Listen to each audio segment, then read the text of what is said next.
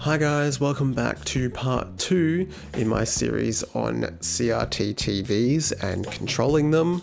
In this video we're going to be going over turning the TV on and off and being able to flick through the TV channels that we specify. In the next video we're going to be looking at security cameras as well, so definitely subscribe if you want to know when that's coming out. Alright guys, that's enough of me, let's get into it. Okay, from where we last left off, we had set up a viewport and a CRT shader, and managed to get the video auto-playing on the video player when we start the scene. Now let's get some control over this TV. The first thing we need to do is add an animation player to control the on and off state.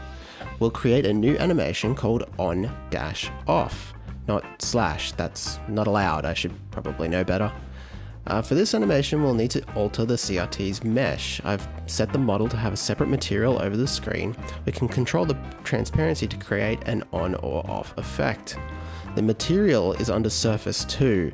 The material's names haven't flowed over from Blender, but that's okay. Uh, so there's two values we need to control. Under flags, we'll need to control transparency. Pretty clear what that does. Then we'll need to control the alpha of the albedo value. While we're here, let's pick a nice off color for the screen, and blue-gray is what I went for. Okay, let's add some keyframes. We're going to start in the off position and transition to on. So we'll want our first keys to be our chosen color and transparency as off.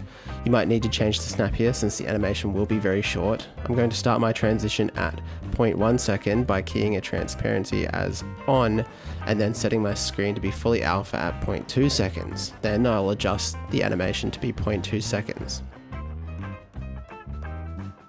Okay, so let's test this out. And I'm noticing a little bit of a hitch when it transitions to transparent. Um, so what I tried to do was basically just delete that first color setting and it seemed to work a lot better after that. Okay, so let's add a script to control this and add videos to our channel. Let me just name this CRT underscore TV and I'll have to remove all this junk. I should probably get in the habit of not including that when I open a script. Okay, so the first two variables that we will need is access to our video player, which is inside our viewport, and then we'll also need access to the animation player that we just created. Then we'll need to set up a path to the folder that holds all our videos. I've prepared a folder with only WebM videos in it. Uh, you can drag this folder into the editor and get the path as a string. Then we'll need to add an array to hold each channel. Each element will be the path to the video and a variable to keep track of what our current channel is. This will be an integer and we'll initialize it as 0.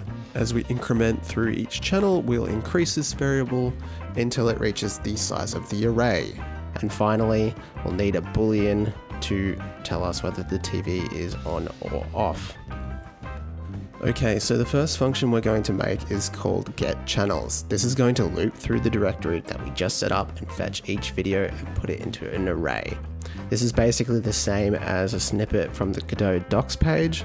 We're going to instantiate a new directory, open it up, passing in the path that we set up before. This function opens an existing directory and returns an error code of OK, so we can check for that. For the list directory begin function, we're going to pass in true and true. We do not want to list our navigation and we don't have any hidden files. Then we're going to use get next. This is a function that increments and returns the next element in the directory, and at the end of the directory returns an empty string. So we can use a while statement to loop through the directory until we hit the end, which will break the loop. For each file, we'll append the channels array with the channel path plus the file name. This will give us a full path to each file. Then we'll use getNext to increment the next file. For the else statement, we'll put a printout just in case the path we put in the channel path doesn't exist or gets deleted.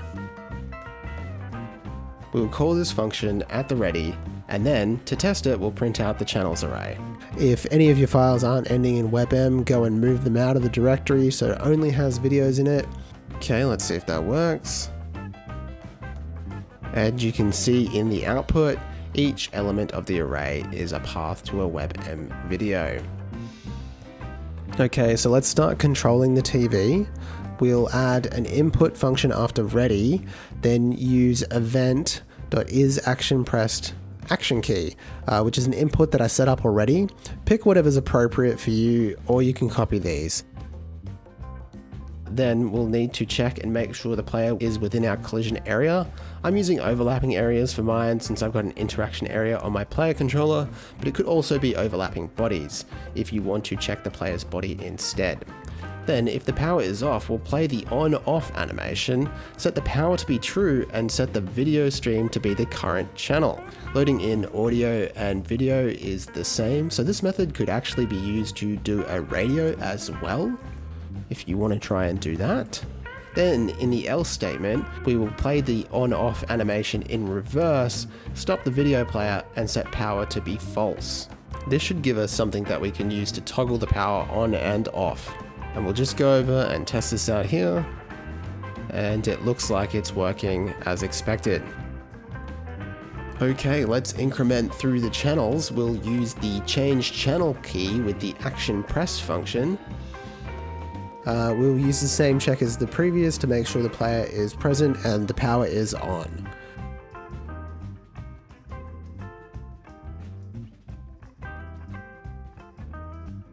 We will increment the current channel by 1, but before we update the video player we want to check to see if the current channel is equal to the array size, and if it is, set it back to 0.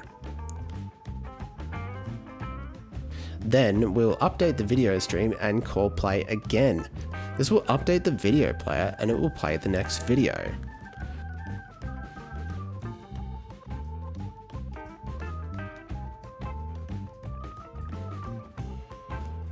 And let's go over and test it out. And it looks like it's working. Now we can flick through the channels and turn the TV off and on. And when we turn it back on, it'll be on on the channel we left it on. This is a very basic script to control the TV. Chances are this isn't going to be a central part of your game. It's just a nice bit of immersion. There's a lot more you could do to build this out. Uh, for instance, there's no error checking, so if you have a folder with more than just WebM files in it, um, it's going to just display static when you end up on that um, element in the array um, until you find you know something that's a WebM and then it will work. Um, I dropped a PNG just to test this out. It, it doesn't crash, which is good. Um, it just won't play anything, which might not be what you want. Okay guys, that's all for this one. I hope you enjoyed the tutorial. It's a bit niche, um, but definitely hit that like button if you want to see more stuff like this. Uh, in the next video, we're going to be setting up a security system and displaying the active camera on the CRT TV and hopefully be able to cycle through each active security camera. Uh, that'll be coming out in the next two weeks, so definitely subscribe if you want to get notified when that comes out. Alright guys, that's all for this one. I am Isaac, I'm Chaff Dev, and I'll see you next time.